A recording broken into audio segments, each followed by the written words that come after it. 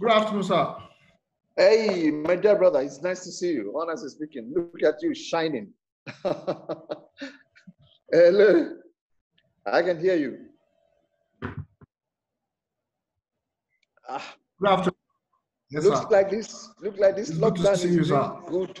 It's, it's looking like this lockdown is doing real good thing to people in a way. Everybody's shining and uh, put on some weight here and there. I can see. I can also see that with Mrs. Nadipotu as well from your video.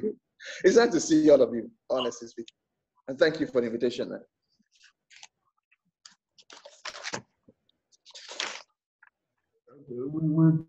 Thank you for the privilege to have you, sir. And thanks for the cooperation all the time. Sir. Well, it's a pleasure. I feel highly honored, honestly speaking. Like I said, I'm not sure if I have what it takes to do this assignment, but you think I do. Well, I say you say so. All right, sir.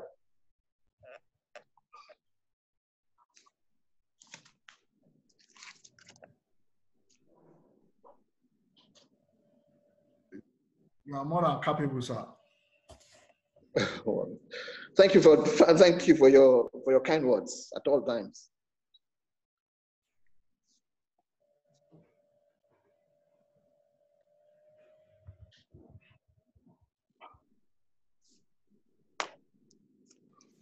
It's 2 p.m. from my end. I think we can start. It's 10 30 59 here. Okay.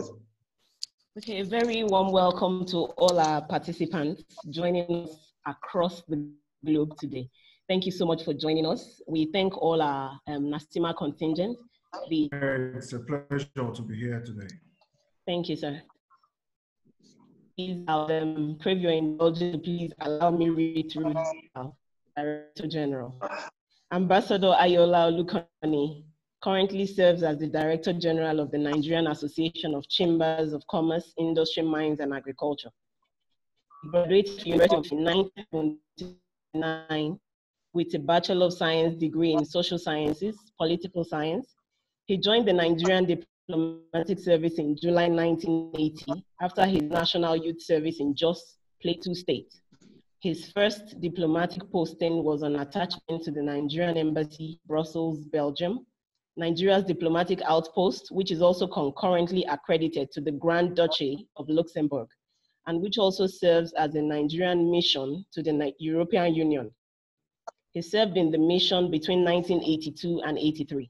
In 1984, he returned to the university for postgraduate studies in international law and graduated with postgraduate diploma in international law from the University of Lagos.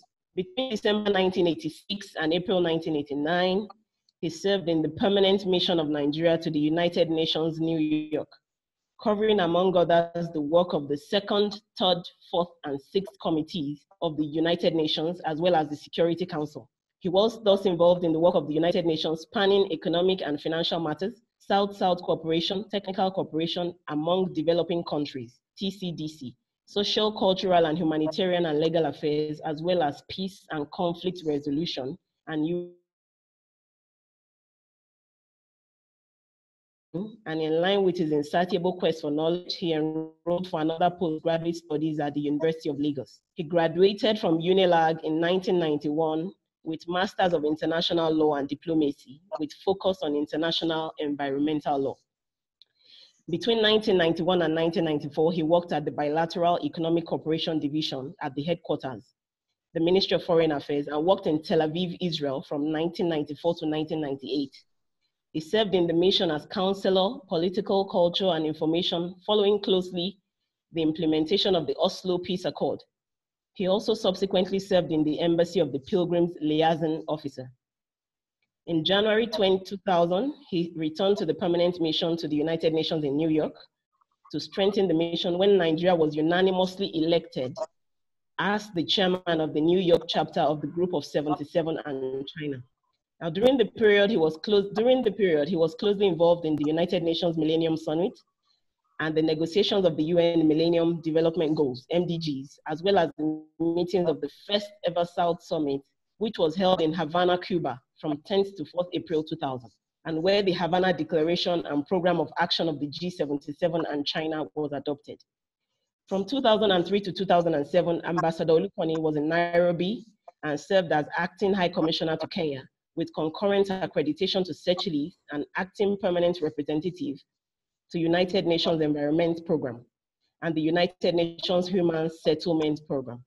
On his return to Nigeria in April 2007, he was appointed Director of Public Communications and spokesperson of the Ministry of Foreign Affairs.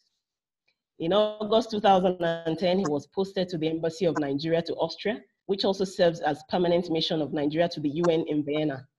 There he served as charge d'affaires to Austria with concurrent accreditation to Slovakia and acting permanent representative to the United Nations office in Vienna, as well as the International Atomic Energy Agency. His other duties include overseeing Nigeria's interest in the following organization based in Vienna, OPEC, OPEC Fund, Comprehensive Test Ban Treaty Organization, United Nations Industrial Organizations, United Nations Office on Drugs and Crime, United Nations on Committee on Peaceful Uses of Our Space, United Nations on International Law.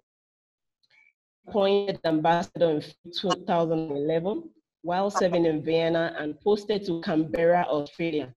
From July 2011 to March 2015, he served as Nigeria's High Commissioner to Australia with concurrent accreditation to New Zealand, Fiji, Papua New Guinea, and Pacific Island of Vanuatu.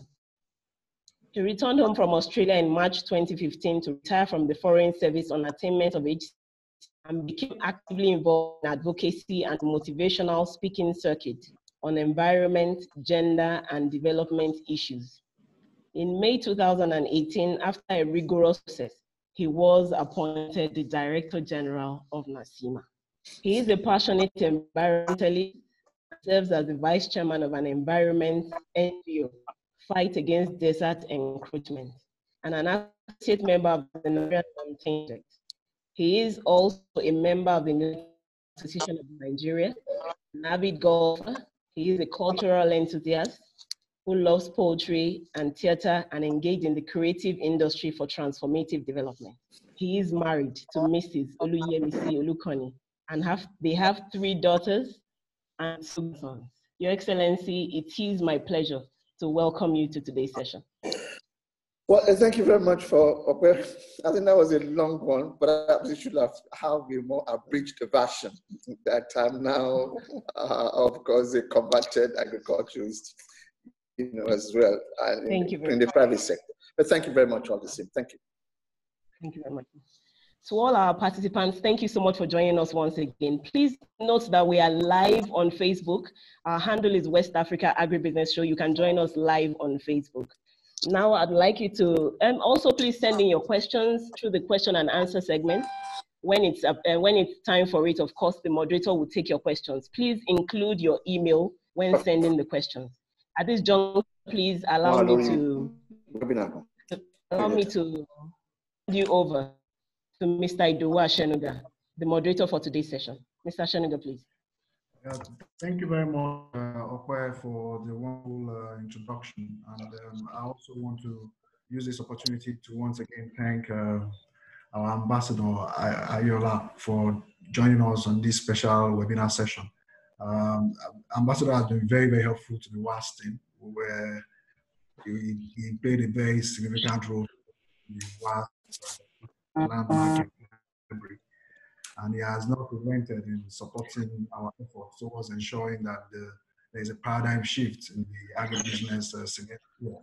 So without further ado, um, Ambassador, allow me to make question of by asking the agri sector, agribusiness sector is still bedeviled by lack of long-term finance, knowledge, and skill gap, low productivity, low level of private sector investment, non-competitiveness and underdeveloped land ownership and tenure system.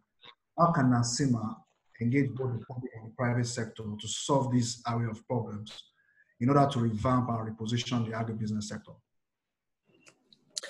Well, um, Zasenuga, thank you very much for having me again. It's a pleasure. I feel highly honored anytime there's an opportunity to work with people like you who are not, who are really walking the talk is always a pleasure. So I'm indeed delighted that WAAS is doing this. at this particular period. Your question, of course, is quite uh, straightforward. How can NACCIMA engage uh, both the public and private sector uh, in terms of the various array of problems that bedevil the agricultural sector? I think, I think, I think it's quite clear. Um, we're not reinventing the wheel. We've been on this ground altogether before. And, and I think the, the clear answer is that one, to see the issue of agriculture now as a business, no longer subsistence farming. I think that is the number one thing. And that's one of the things which we're doing in NACCIMA, um, promoting agriculture in the new, into new terrain in terms of, hey, listen, the days of agri being seen as subsistence farming, um, food security, yes, part of it is over. Let us take it as a business. And that's why we work closely with members of our chambers across them. Don't forget NACCIMA is Nigerian Association of Chambers of Commerce, Industry, Mines, and Agriculture. So we project, we project that agriculture through our members, and of course also ask our members to also support the respective members, and also encourage people to join the chambers, so that members who are in agriculture can join the chambers. That is one thing. The second aspect of it is what you talk about the public sector. And I sincerely hope I'm, I'm, clear in terms of what we are saying. And that is the fact that we must work, we work also with government and various agencies too as well. And that's why in this context, I think we must uh, uh, look at the current roadmap as far as agri is concerned. And that is the green alternative, the agricultural promotion policy or green alternative uh, which are seven pillars. Um, it is a very useful roadmap, and that's one of the contests.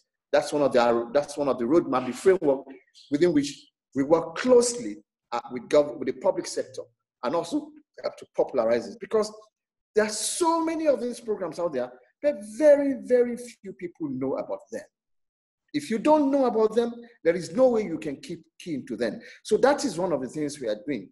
Uh, the green alternative is indeed uh, design. And we use this as one of the reference points in terms of um, trying to sort things out. But the long and short of what we're saying is that the chamber is the private sector advocacy group. We work closely, of course, through our members, and that's one of the platforms on which we stand and encourage more people to join, even farmers and others, and smallholders farmers to join the chambers as well, so we can work closely with them.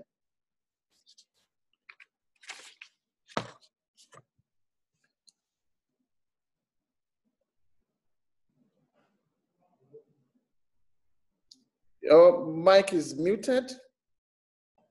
Thank you very much. Um, okay. okay. Yeah, I'm sorry about that. Now, okay. um, just to reflect on that question, you know, uh, once more, because um, I was having a discussion with one of my very close friends lately, and we are discussing about the lack of, um, you know, major investment in the agribusiness mm. sector as uh, one of these critical problems. Uh, would you want to agree that, um, you know, lack of big investment you know, because just like you said, you said agribusiness is, a, is big time business, is real business.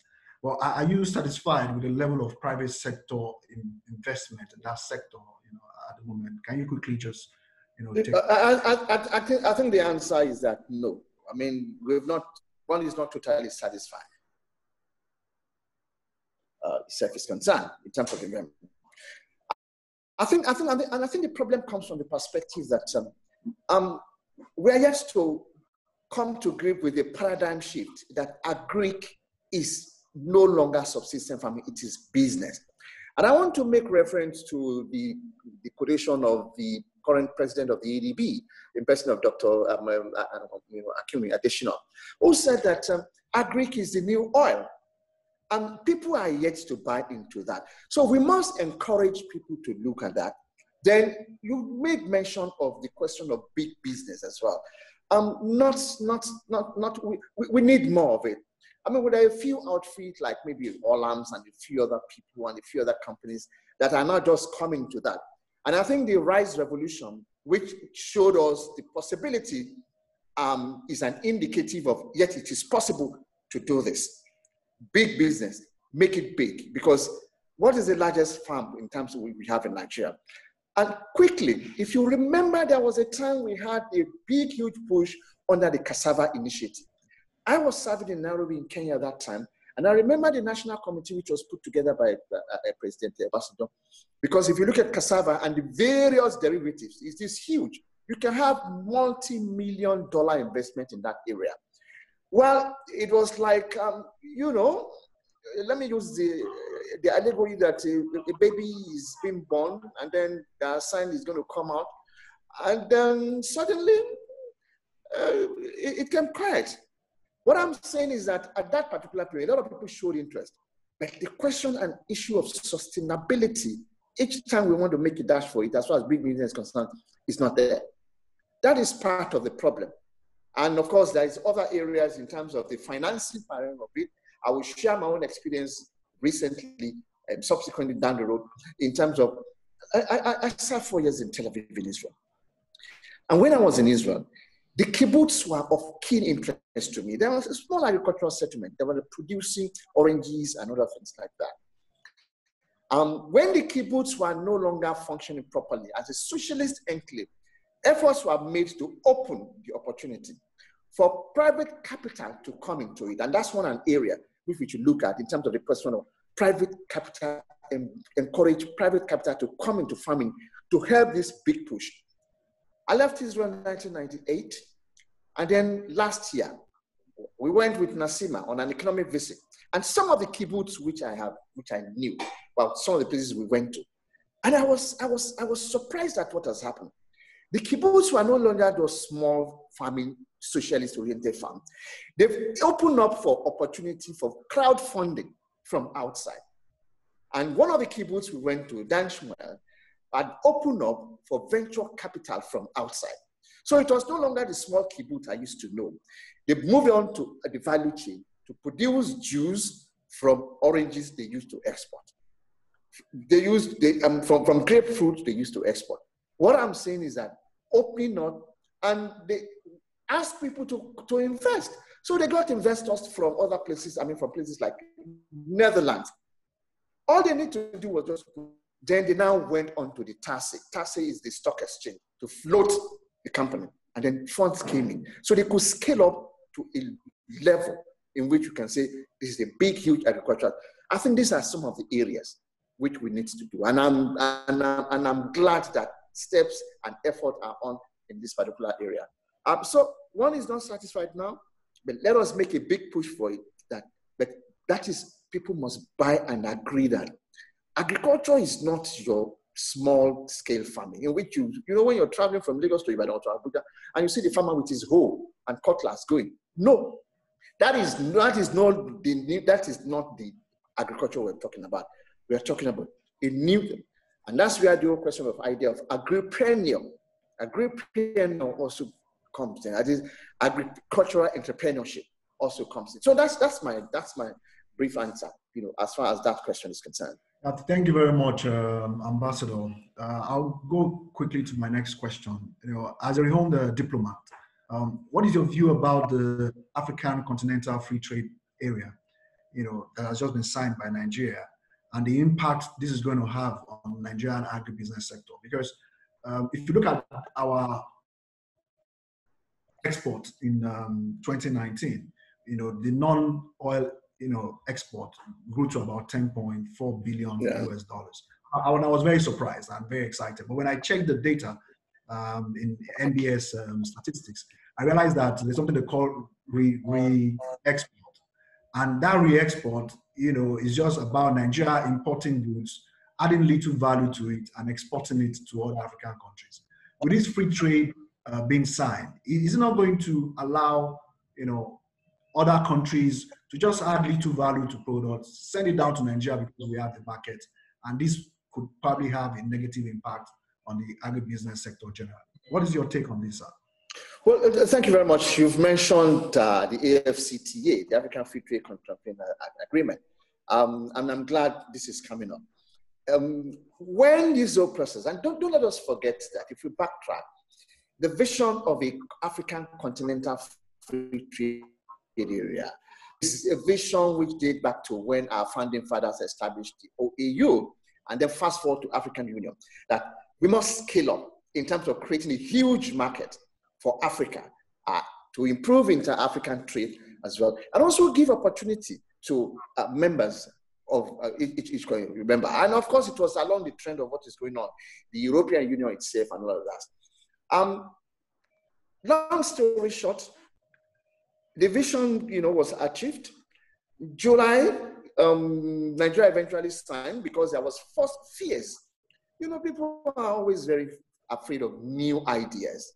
Um, it's like very much the whole question of. Uh, I remember that the period in which television is said when it arrived, uh, there are some Christian groups and others. So no, this is the box of the devil. Don't let us watch television. Um, today, the big churches and everybody is keyed into it. They have television stations. I'm saying that new ideas are always very. So we have the FCTA now. So when the process started, there were fears in Nigeria because of the challenges and problems we have in terms of capacity production that our market will become, it's a huge market. Nigeria is a huge market. People outside say, and I serve as the diplomat outside. I say, look, all you need to do is just to capture Agege area. Don't bother. The number of people there will make you rich. So that was the fair as far as that. But we said that there are advantages also because what was left for us, and that's why was why NACCIMA Ali keyed on to it. And we must confess that some, some of our members too are exercising fears. But there are others who are producing and saying that they're ready to start exporting to the African market, take advantage of that. So, but thank God it was sorted out. Nigeria signed eventually July 7. And um, I want to mention the, the, the, my colleague in the Foreign Service, Ambassador Chiedu Odasos, of blessed memory, who passed away, who was also the Director General of NOT, and also was involved in the discussions in Addis too as well. Iran. But we have this in our hands. It is now left for us to see how can we benefit? How can our people benefit from it? And that is the, that is the spin. And that's why we have a dialogue series. And I want to make mention of this. NACCIMA had a dialogue series on the AFCT because a lot of people don't know what it is. The various sections, it's a huge agreement. So many technical aspects. We held the first session, it was Nigeria, the FCT, and the Nigerian private sector. The FCT and Nigerian, because it is a private sector people that will operate. It is not government that will trade. It is the private sector people. So we had to do that. Then we did another one, you know, trading goods. What does it mean? And then, of course, state of negotiation, we looked at it. We were preparing for services uh, when this thing started. And I don't want to quickly mention it so that I can round up and then we can continue. That we looked at it, it was left for us to identify the various areas where we have strength. There are areas where we're weak, but there are areas of strength as well. Look at the services sector. I told you I served in East Africa, I'm in, in Nairobi, and some of those places. When I was serving 2000 and 2000, I mean 2000 and 2007, we didn't have a Nigerian bank in those places. Somewhere, sometime across the road, we have very many of our banks, the big, big ones. I'm not advertising here to have uh, Zenith, have uh, UBA.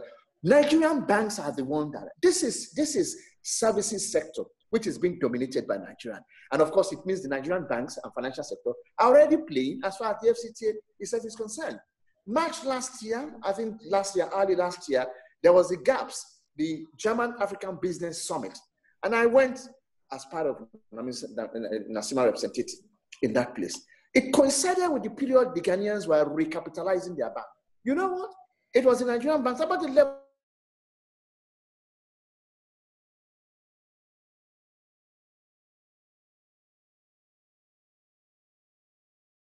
section of mediation and conciliation within the framework of the uh, AFCTA.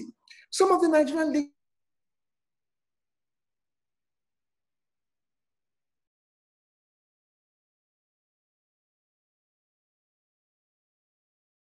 we are ready to train you.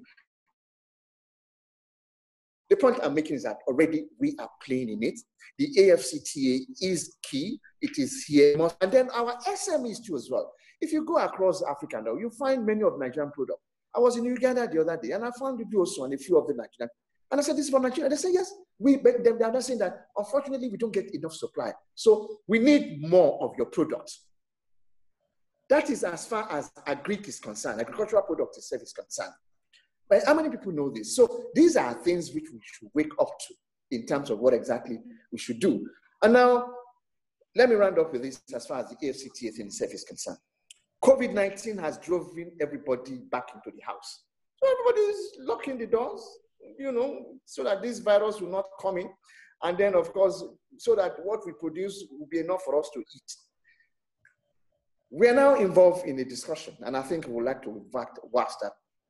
The idea is that please don't let us, because of the current security uh, uh, difficulties, forget the AFCT. Let us stay focused. And we are working on this already. There's going to be a webinar. Let us stay focused because it has been, it has been argued that indeed the AFCTA is one of the strategic options for African countries in terms of the efforts to reboost the economy. So this is, this is as far as the AFCTA itself is concerned in context of our discussion. And, and I think it will help to boost and encourage our farmers that, look, I can, I mean, look at, look at Orogbo, look at some of the small products, look at, look, look at, look, look at our, uh, uh, uh, look at our ginger, look, look, look at uh, uh, um, um, cashew nuts, look at uh, zobo, I mean, which is hibiscus, all these are products. And I remember and I know that because I was involved in it in time to resolve the crisis of Mexico in terms of our, our, our, our, our as well as the, as well as the question and issues of uh, our, our, um, um, our cashew nuts to as well. So let us be forward looking as far as this is concerned. And I'm sure that definitely the current difficulties will not drive us out of it. That will be taking a wrong, a wrong decision. But in NACCIMA, we're staying focused as far as that is concerned, and we are working on a webinar very soon uh, to bring it to the attention of people in terms of the AFCT as one of the strategic options in our effort to reopen our economy and reboost the economy. Thank you very much, um, Ambassador, for that in-depth uh, um, discourse about the AFCTA. So uh, in, in 1957, um, agriculture contributed about 65.7% to Nigeria's GDP, and today about 21.6%. With the oil boom in the early 70s, why wasn't it possible for us to develop the oil and agribusiness sector simultaneously to create at least a dual income economy for Nigeria? I think we missed that opportunity. Yeah, we, we, we, we did. The question is that we caught what is, no, caught what is known as the Dutch disease we caught, we caught the Dutch disease when oil came. And the Dutch disease, of course, like most of us know, is that, I mean, you do your, your resources, I mean, you, you, you have a resource like oil, and then which gives you a lot of foreign exchange. And then you, from there, you abandon whatever you're doing and start importing. And you know, it was a period in which they said we had enough money. Uh, the problem was what to do with it. And we shouldn't, I mean, it was, it was a missed opportunity. And I guess what we earn from oil, we should have invested in the area of agriculture. We, should, we, we didn't need to have abandoned that. But oil prices moved from $3 to $40. And that's the, you're not talking of 100%. Calculate it. You will be shocked in terms of the amount of money. So that was a missed opportunity. It was possible for us to develop the oil sector along the line as we are also continuing.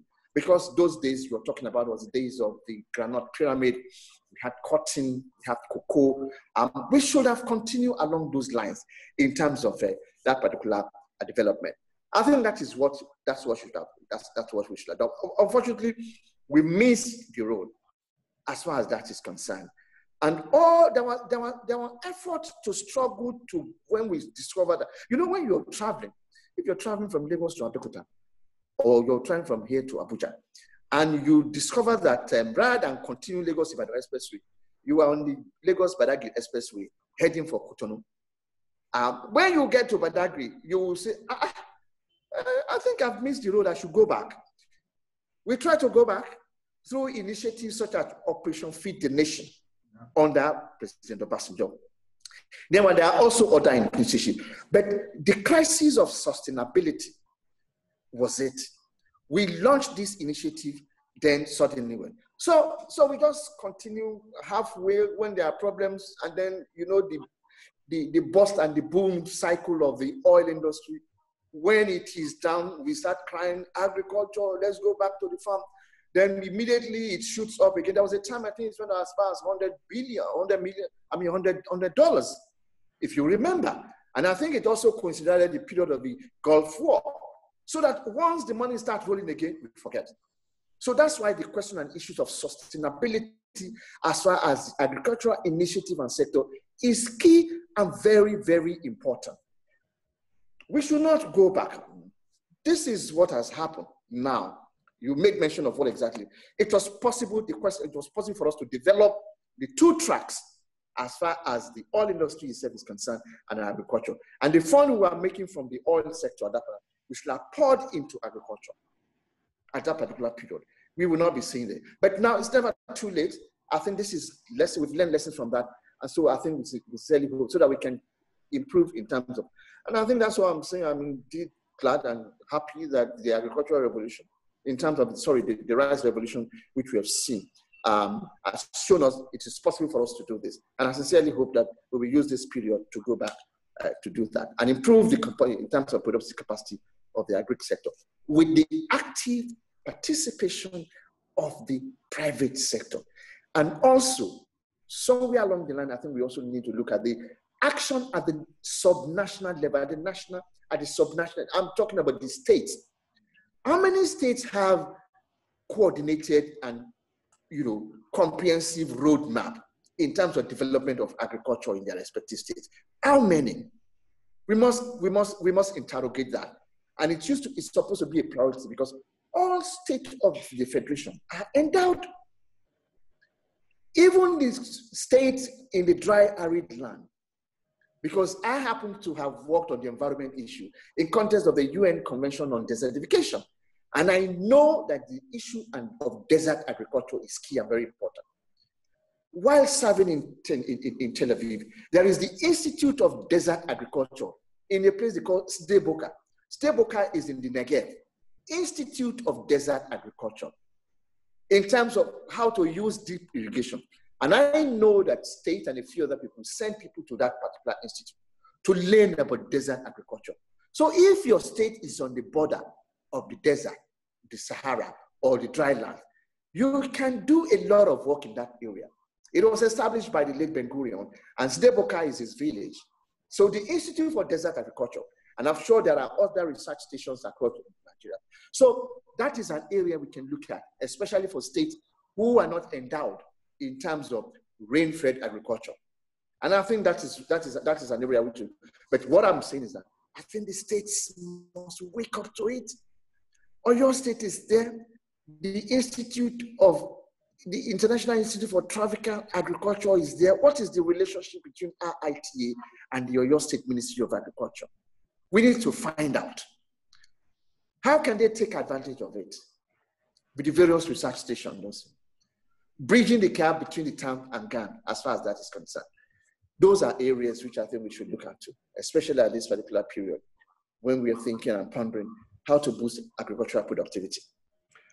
Yeah, thank you very much, uh, Ambassador. That was a deep insight because that is still um, going to lead me to my next question. Although, as a quick one, um, I, the, the, current um, um, executive advisor to the state governor, um, Mr. Debo, Dr. Debo Akande, is, is an IITA staff, you know, and the governor of Oyo, I know specifically had to head hunting to make him a special advisor. So I think Oyo State in that context, they, I think they're about getting it right. So I, I would like us to go to this uh, next question because uh, this issue really bothers me because in 1960, Nigeria supplied about 50% of global palm kernel production. And by 1982, we became a net importer of oil palm, which is a misery. We are second in cocoa production in the 1960s, just next to Ghana.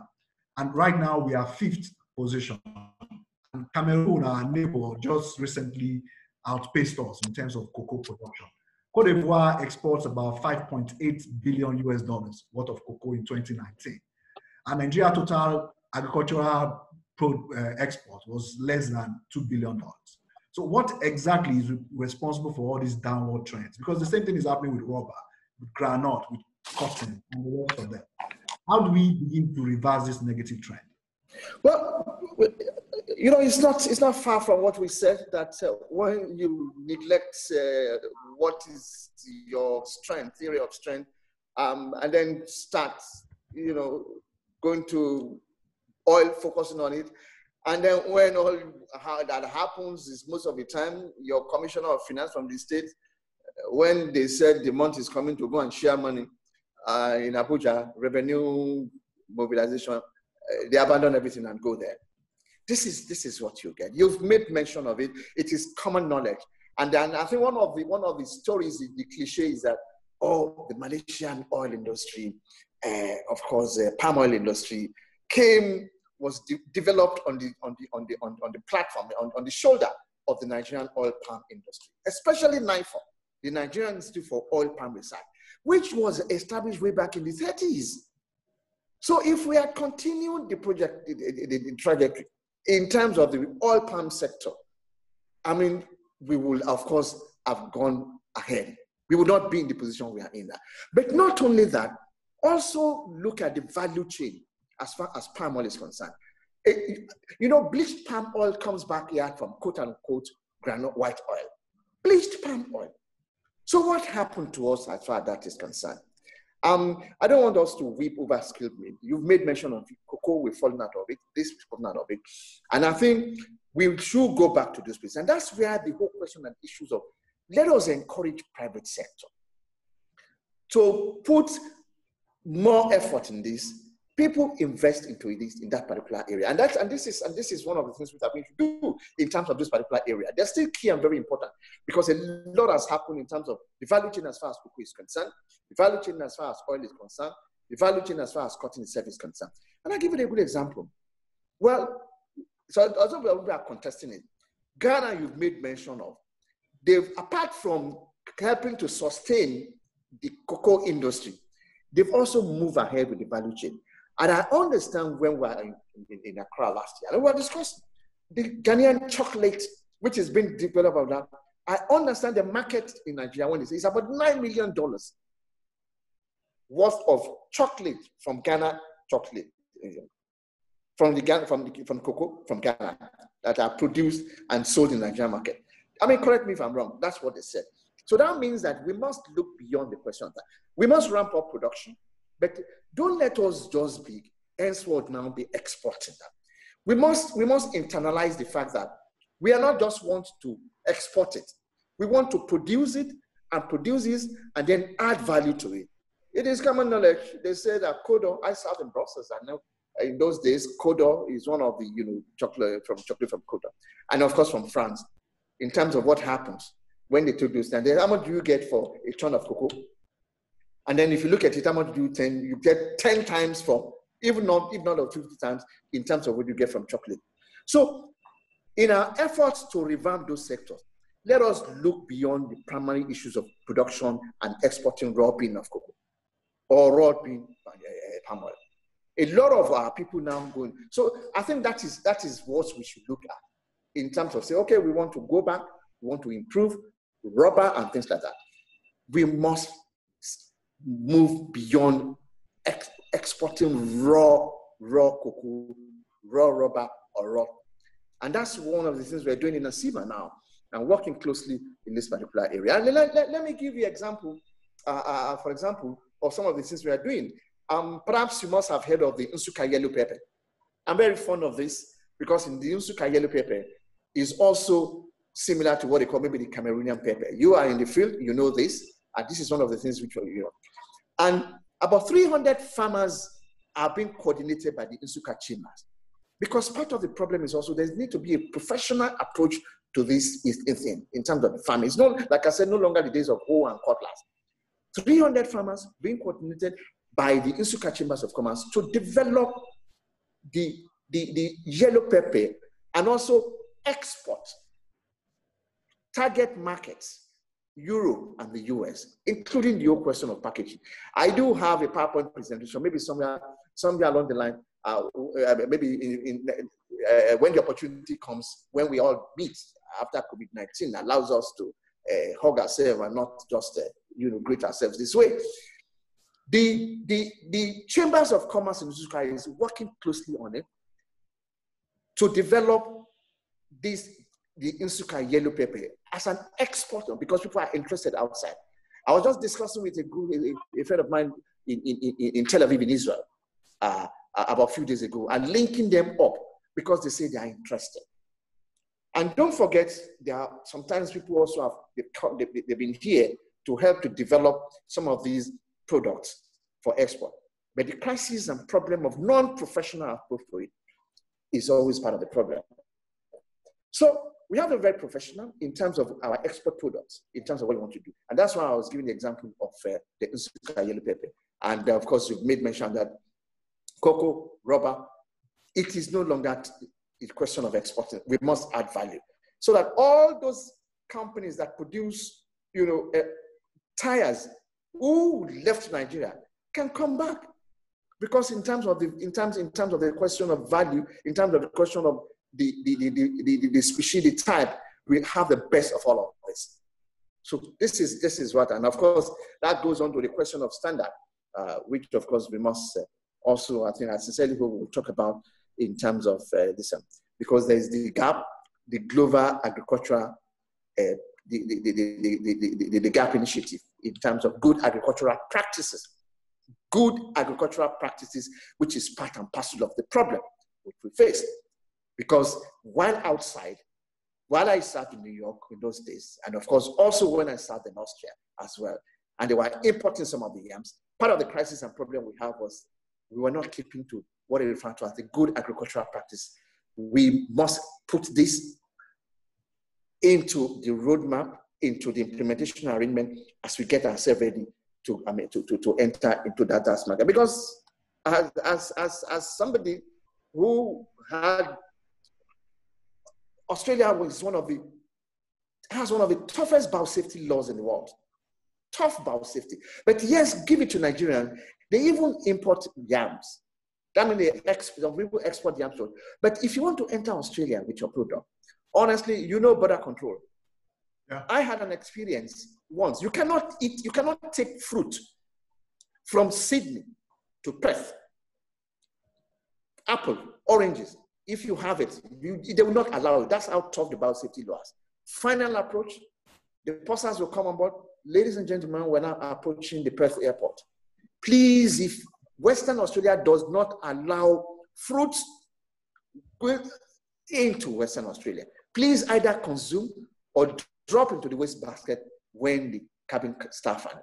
And if you arrive, if you take that, and it's, it happened to me as ambassador to Australia. I was coming from New Zealand.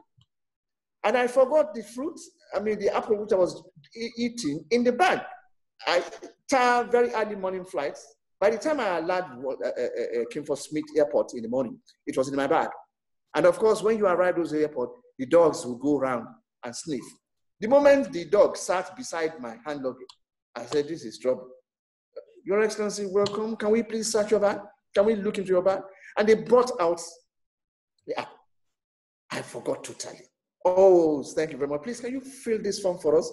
Thank God for Vienna Convention on Diplomatic Immunity. Only God knows how much they will have taken out of my pocket that day.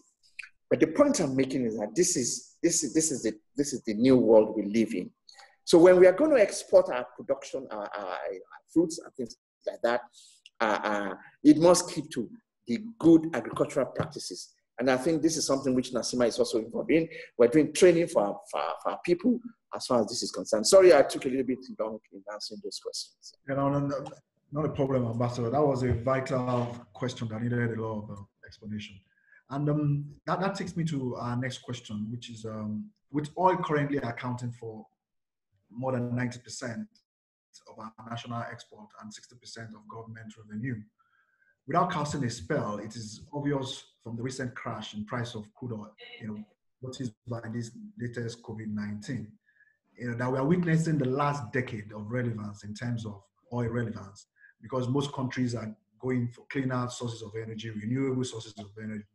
Under an automobile company just said by 2022, they're going to completely stop the production of gasoline vehicles and they're going to go, um, and they're going to start producing uh, green cars as from 2022.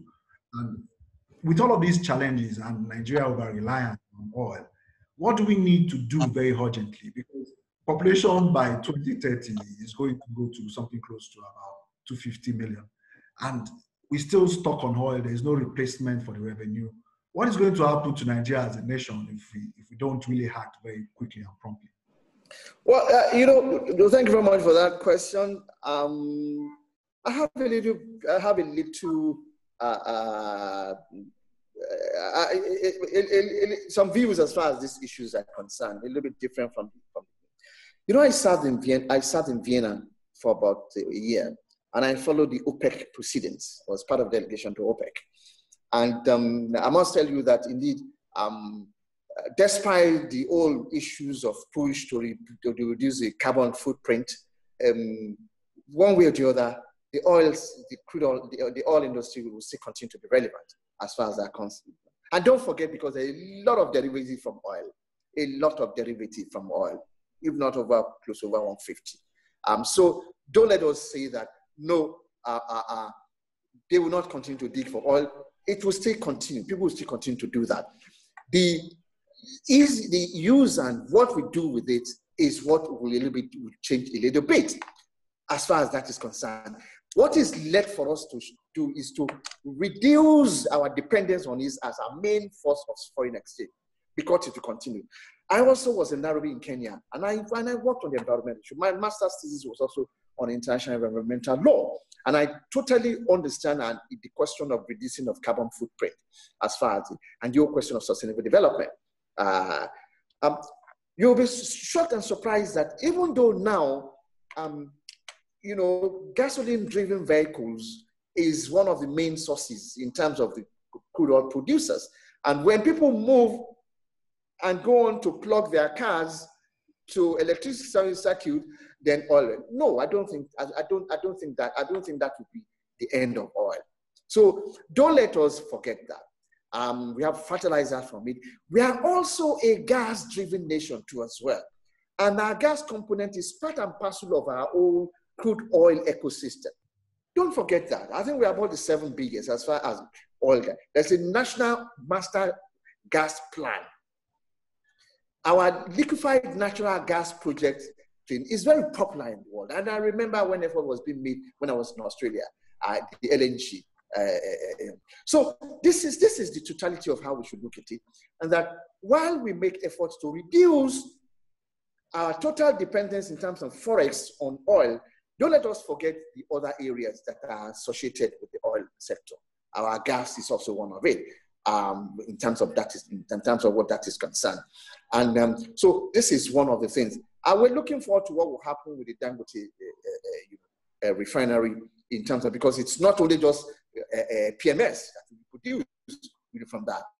Yes, um, we should we should we have a PMS issue in uh, the arrival of the electric cars, but let us also be very strategic in terms of because you never know. Science continues to evolve. Science continues to evolve. You never know what new product can come from the crude oil itself. There are very many others, you know, for now. So this, this is my take on it. And like I said, as somebody who also worked in, uh, in Vienna and followed uh, closely the whole question and issues of the renewable energy, the, the, the, OPEC, uh, um, it continues to be a major part for the foreseeable future of, of, of the global economy. Um, why the boost and bomb and stumble, but let us develop other areas. Like I said, the gas thing, which you mentioned, the question of clean energy the more we encourage people to use gas in terms of various sources of it, powered, power, I mean, um, gas-fired station to produce electricity, um, it means that uh, implicitly um, we are diversifying our sources as far as the foreign exchange itself is concerned in this particular area, because a lot of countries and others will continue to reach out to us in terms of uh, buying gas and other things uh, from us. That's, that's, that's, that may sound a little bit controversial, but like I said, we should look beyond the pump as well as the gas, um, as well as cars itself is concerned, because there will be also other various uses as far as this is concerned. Thank you very much, uh, uh, Mr. Ambassador. Um, I'll quickly go to my next question. As the Director General of um, NACCIMA, which is the number one advocacy voice for the organized private sector in Nigeria, uh, more so that um, your, your, your chamber covers commerce, it covers industry, and it covers agriculture, which are integral part of agribusiness. Because just like we've said earlier, agribusiness is about production, processing, distribution, logistics, Interval. Yes.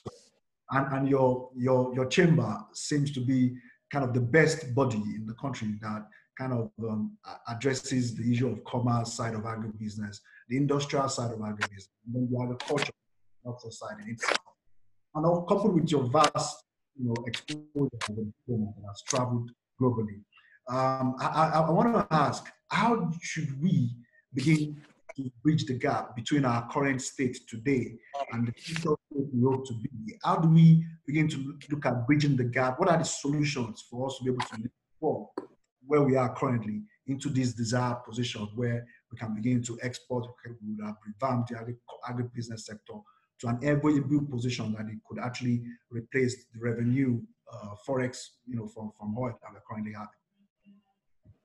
Well, uh, thank you very much uh, for that for that question. Um, for NACCIMA, and that's one of the reasons why we are, of course, uh, always at the forefront as far as advocacy issue is concerned. We should expand its space as far as the private sector itself is concerned, and that private sector, as far as that was even small small holders farmer too as well, in terms of so states themselves can take it on their own to see how they can work closely with the chambers and that's one of the things we are encouraging. Wherever we've been, wherever we go to, when we have our EXCO and council meeting, we invite the state governors, we invite the Minister of Agriculture in those states, and to introduce and link them up with members of the chambers who are in agriculture. Who are in agriculture, so that they can see them as partners. Because it is key and very important to do that. If you don't do that, then we end up working in silos. So that and I gave, like I said, I was just giving a good example of the Nsukka yellow pepper. We're trying to connect, you know, the governor, Enugu state and others with these people. So that the governor itself, the government itself, maybe through a special purpose vehicle, can key into that particular area and invest in it. So that, so that all those things which are going on, members themselves, the state government, I'm, I'm, I, I don't like, I, I don't want to be abstract. What I'm saying, for example, Look at the citrus zone in, in, in, in, um, in, in, the, in the west, in the southwest. Ibadan. We drive out of Ibadan. We drive on to Fiditi. Fiditi, all straight to Oyo, Oyo, all straight. They talk about the Ogbomoso don't. So that the point is that it is, it is possible for the Oyo state government to have a special purpose vehicle, agricultural company, limited, not, not, in, the, not in the Ministry of Agri, not in the Ministry of Agri, a limited liability company that want to invest. I gave you the example of what happened as far as um, uh, uh, uh, the, the, the Danshmel uh, uh, kibbutz, which used to export just orange itself, that now went on to add value chain, I mean, add value to it by now producing canned fruit. These are the kind of things which should be done now. A state like Benue, which is the food basket, look at look look look, look at the, the, the cashew nuts in the place, in the entire place. Is it not possible for Benue State to establish a limited liability company, not, not as a part of the Ministry of Agri in Benue State, but a, a, a, company, and then work closely with the Benue Chamber. The, the president of the Benue Chambers of Commerce is also into Agri. And then so that they can walk through, you know, be able to inject, and they, and they, they, they will have they will have funds and revenue from this particular group in terms of their investment. So the thing is, like I said, fundamentally, the mindset as far as agri as an agri business. And this is why I was talking about the whole question of agripreneur initiative. Through the agripreneur initiative, it is targeted at young people to see agri as a business as an opportunity. And we have cases because we work closely with IIT in this particular area, in which young people even if you come out with BA Yoruba or BA uh, religious studies, it is possible that when you have BA religious study, the possibility is that please go and open your own church too as well, so that uh, you know uh, uh the, the, the, the, faithful can come. But it is possible you, even as with your BSc religious study, to also be an agripreneur. A large number of people are into fish farming. They dry the fish, they package it, they export it. So initiatives such as this is important. The Agripreneur Initiative, targeting young people. And don't forget, Nigeria is essentially a young population. Please go and look at Next Generation report, Next Generation Nigeria, which says that Nigeria's future does not lie not only in its oil, but in its youth, the demographic dividend. Demographic dividends, and that demographic dividends includes encouraging young people to go to become entrepreneur. There is this initiative in the IITA. We are working closely with them, and I know that um, uh, uh, um, Dr. Akin, I think, I think we, um, additional uh, AFD president, is, is, is, this is a issue of the is the heart of the matter for him, and also is a matter of the heart for him. And the building in IITA is named after him. And the business incubation platform, and I want to say this and as, as an information, the business incubation platform of the IITA is specifically looking at how to work with young people in terms of the agripreneur initiative to encourage them. NACCIMA is also involved in this particular area. We are working closely with IITA.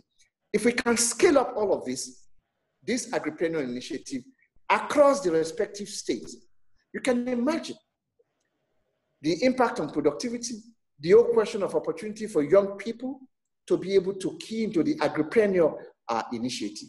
And of course, also not, I, I, must not also forget the gender dimension of it in terms of uh, a large number of uh, women too as well, uh, who are also going into the agricultural uh, sector. So I think, I think this, this, uh, this, this is, these are the conversation we continue to have. And of course, like I said, the opportunity is there. We work closely in NACCIMA to help people to practicalize and walk the talk. That's why I'm indeed very glad that uh, uh, with WAAS, uh, we are taking our relationship up to next level in terms of what uh, can be done. Just early today, we were discussing with our colleague from uh, the uh, Benin Chambers of Commerce, and we're talking about the question of agriculture within the respective between our two countries. And of course, we know what exactly can be done in this particular area. So we stand ready to work with uh, stakeholders like you um, in this particular area so that we can have practical uh, impacts. Thank you very much, um, Ambassador, you know, for, for that insight and also the privilege extended to us. in the issue of um, actually looking at being able to create an agribusiness ecosystem, okay, that ensures quality food sufficiency, safety, and security. Because one of my argument point, you know, is about food safety.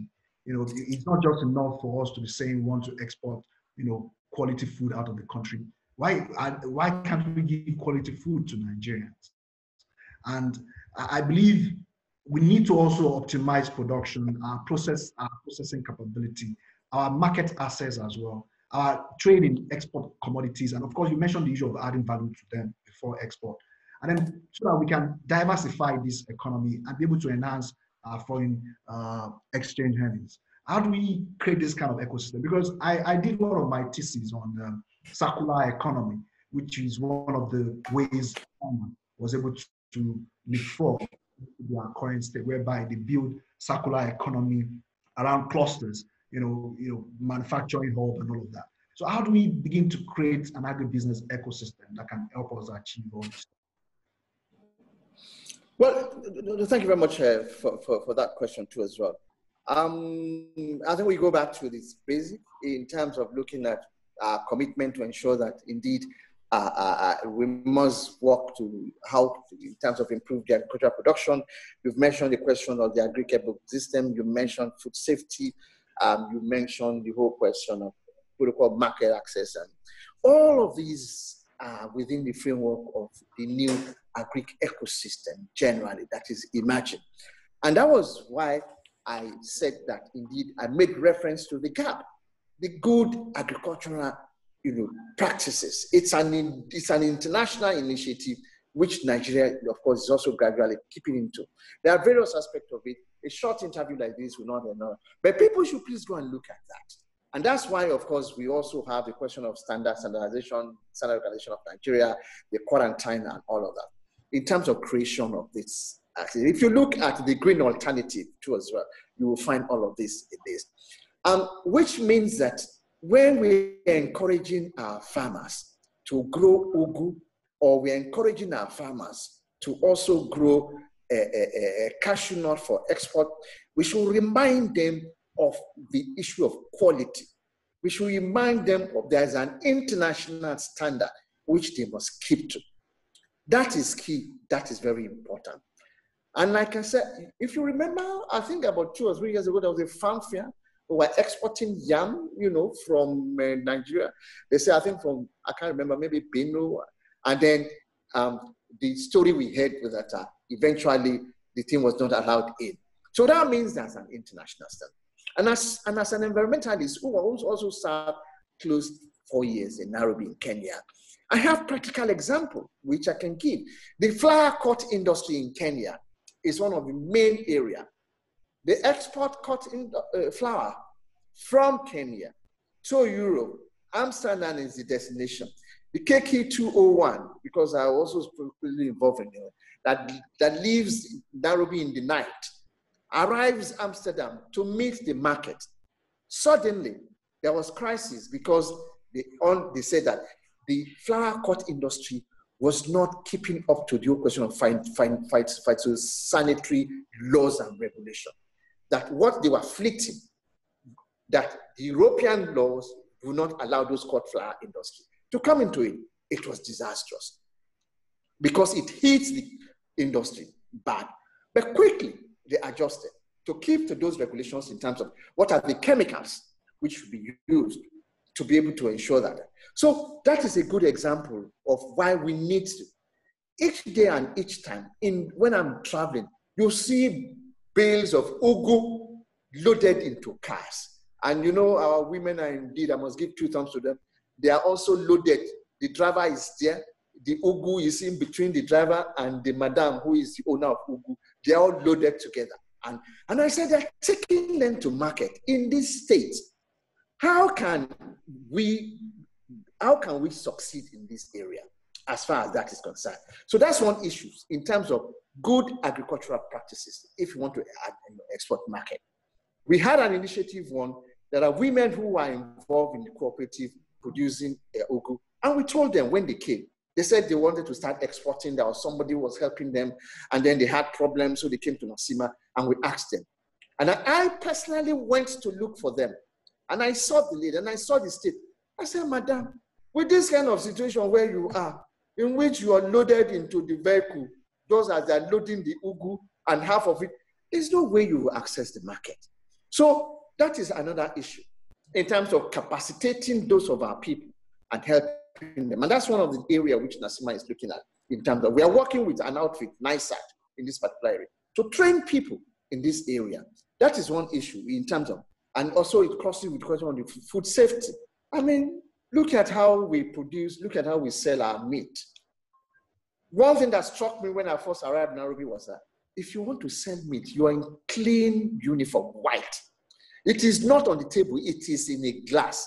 If you go to the market here, the, uh, the Baba who is selling you is struggling and, you know, throwing, uh, fighting with the flies that are, that are patching, you know, here.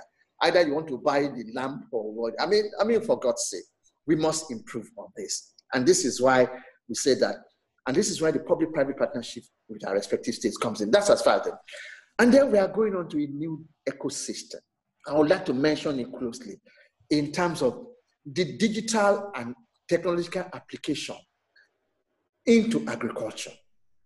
We now have apps that have been developed this is my phone. It is possible for you to have an app in terms of and your agricultural business for people to be able to do agriculture, to help farm takers. It is not compulsory that the farmers the farmer themselves must be the one who should market. We, we, we must make sure we pay good for them. So it is possible for us to use the digital, new digital ecosystem to improve agricultural production and entire value chain from area of production, from the area of the question of marketing. You're talking about market access. NACCIMA is developing something in this particular area as far as market access is concerned. And I think I will crave your indulgence. Whilst you should please look at it, we can talk about that in terms of market access. Because if you have product, what we've done is to identify the members of the chambers who produce what and what and what and what. And those people who, of course, want things from them. That is part of our market access initiative. And you can also, you know, I'm, I'm sure you are aware of the Farmcrowdy initiative. The Farmcrowdy initiative in which you can attract funds into farming, into your farm. You don't have to be a farmer to participate in the agri business. This is part of the new ecosystem as far as digital application and technological application of farming or of farm itself is concerned. And I know that um, there are very many platforms. There is crowdfunding, you know, itself in Nigeria as a platform. There are also a few others who are also using the new digital application and technology to advance agricultural production. And of course, the entire value chain uh, in, uh, in our country. This, this, this, these are just the new areas which are, of course, uh, opening up as far as um, our new, new, new environment itself is, is concerned. That means implicitly digital application of IT technology into farming itself. Not only just the question of application of farming itself, of course, you know, technology is also in there, but also market. A good example, when I went to the farm in, in, in I was giving a good example that indeed you now have the digital application of technology in terms of one, between the research station, the Volcani Center Israel is one of the islands. We also have very many, uh, very many agricultural outfits in here. Drip irrigation system, application to farming, in which there's even computerization process in which the orange tree will ask the computer, please give me more water. And the water will be released to the farm, released to the, when it is enough, they said, it's enough. So this is, this is, this is the new frontier which we all are in terms of uh, IT, technology, application to agricultural production, and of course the entire value chain. Thank you very much, um, Ambassador. Actually, you begin to dive into my, you know, my, my next question, you know, uh, you know, style, because the next question is about how, do we actually create a knowledge-driven agribusiness, you know, that can thrive in this era of digital economy. And you know, you know, we are now we're now in the fourth industrial revolution, and how can we begin to build human capacity you know, to create and utilize all these innovative ag tech solutions to be able to optimize our agribusiness development. It, it's good enough you mentioned um, initiatives like that of Farmcrowdy. I know of also uh, Thrive Agric. I, I, know some quite a number of people trying to do some marketplaces like Food Locker and the rest of them.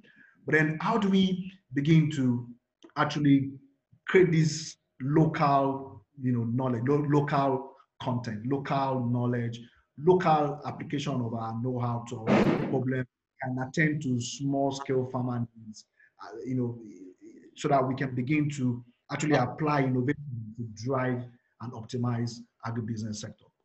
Well, thank you very much. You know, uh, I, I, it's always good to concretize the abstraction, to use some of our teach There's the University of Agriculture in Abeokuta there.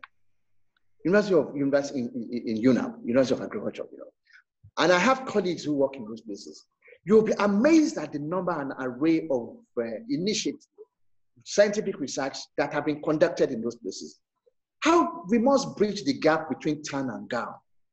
We, we, we don't have to also, you know, we don't need to go all the way to China to go and bring what exactly they are doing and things like that. There are a lot of initiative, a lot of scientific research and IT in now. So one, the first thing I, used I must say that let us reach out to our respective. Don't let us don't let us dis, I mean disabuse them. Don't let us just disregard them. Between our respective university, faculty of agriculture, let us find a linkage. The whole question of all idea of farm extension.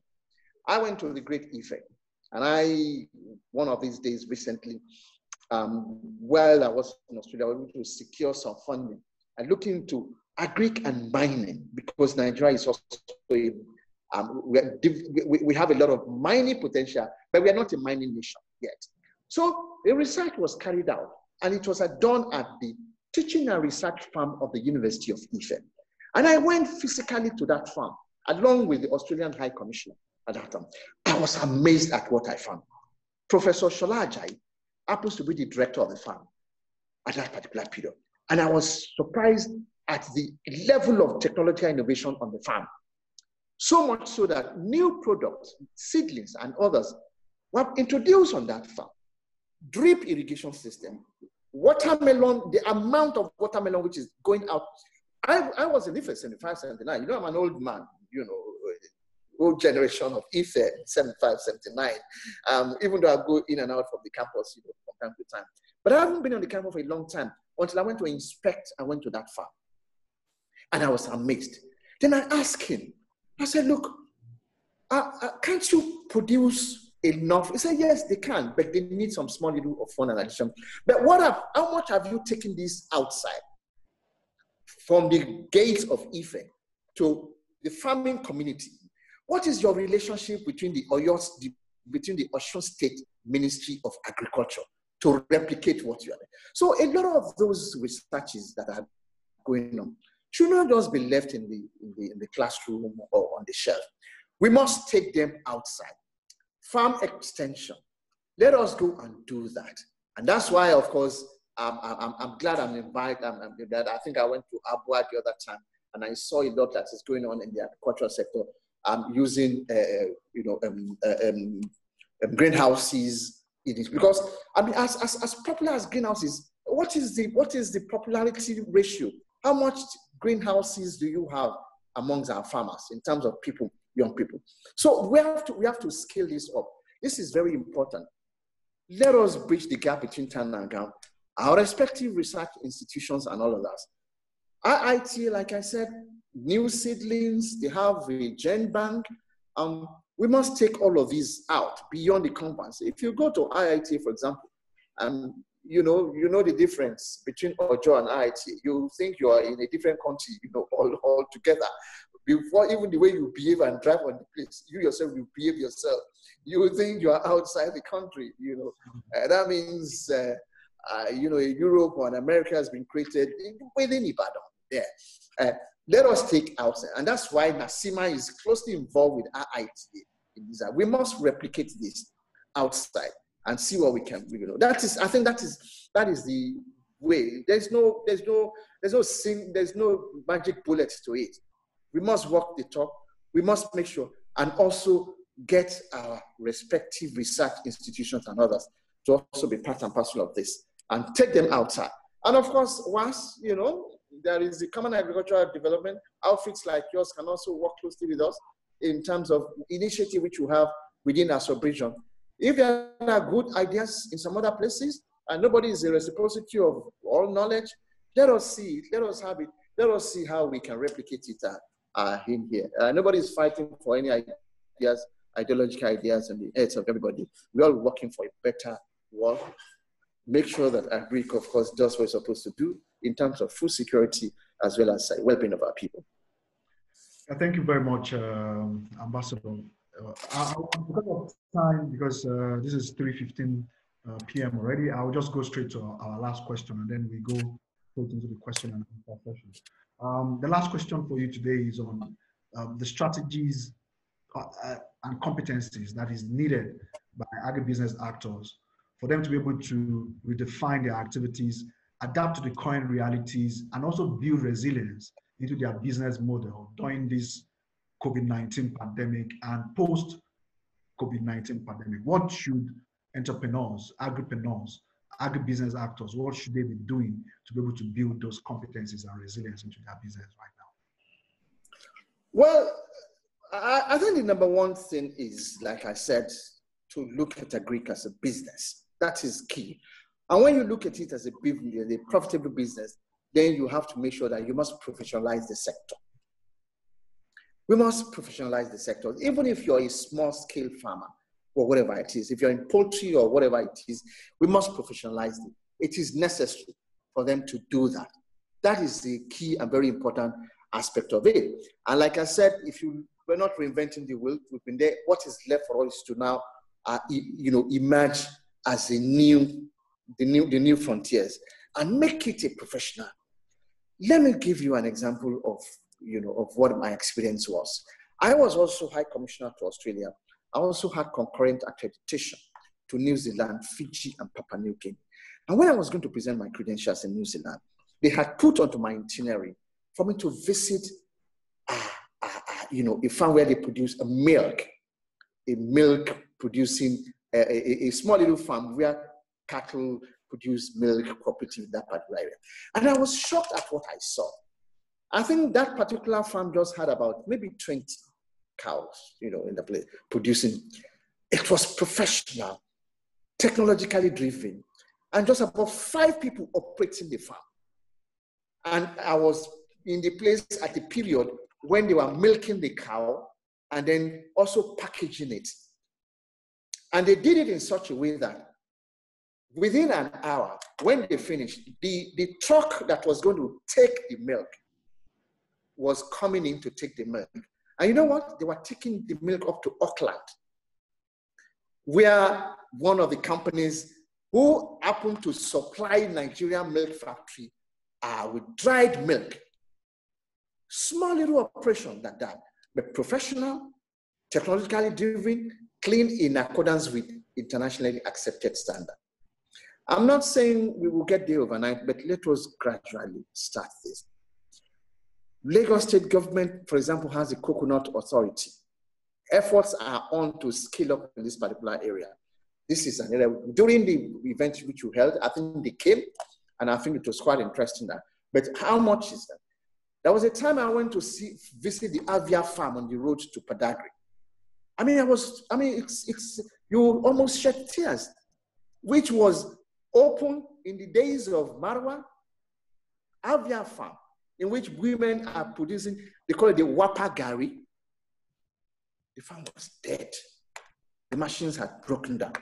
So the whole question and idea of sustainability of the agri-business as an agri-business is key and very important as far as this is concerned. So this is this is this is very important, and I think um, even in the poultry area, as far as poultry service is concerned, um, I was discussing this morning, and then there was the question and issues of uh, during the lockdown, the loss in the poultry sector. It was simply because there was there was no there was no agricultural product value chain as far as that is concerned. So a lot of it, and, and the end does not know there is lockdown. It continues to you know yield eggs, and then they had to now be burying those eggs. This is a wake up call for us. We should live up to it as far as that is concerned. And I think that is why before we leave that I will invite our attention, especially to the Nigerian Economic Sustainability Plan. It is key, it is very important because as part of effort to reboot the economy and come reopen, that plan is there. It was produced by the committee set up by Mr. President and then with Vice President. The Nigerian economic, the economic sustainability plan, go and look at the section of that report. Food for all, agriculture and food safety. The project, there's a project under it, which will cover a period of two months. It is intended to expand production in the agricultural sector and stimulate the establishment of new farms. I'm reading. In partnership with state government. Five billion jobs is expected for citizens. State government are supposed to cultivate 200,000 hectares. It will span the entire agricultural value chain from farm to the table. It will support smallholders, increase production, and then also the objective is to create 5 million. And it is estimated that about 634 billion naira will be attached to it. Please let us go and look at that economic sustainability plan. It is very important. But the most important aspect of implementation implementation, implementation of that particular plan. And of course, the beauty of it is that as NACCIMA, we are standing up to it in terms of arguing and advocating that the bulk of this should be implemented through the private sector. And that's why, of course, it is also a key and very important. And of course, I have the going for growth five-year policy thrust of the Central Bank of Nigeria. It is still relevant, 2019, 2024.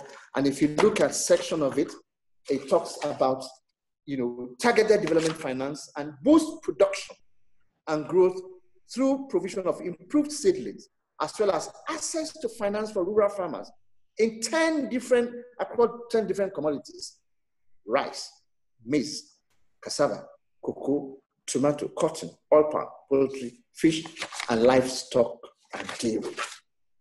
These are areas because it's good to also look at our areas of strength and work on it.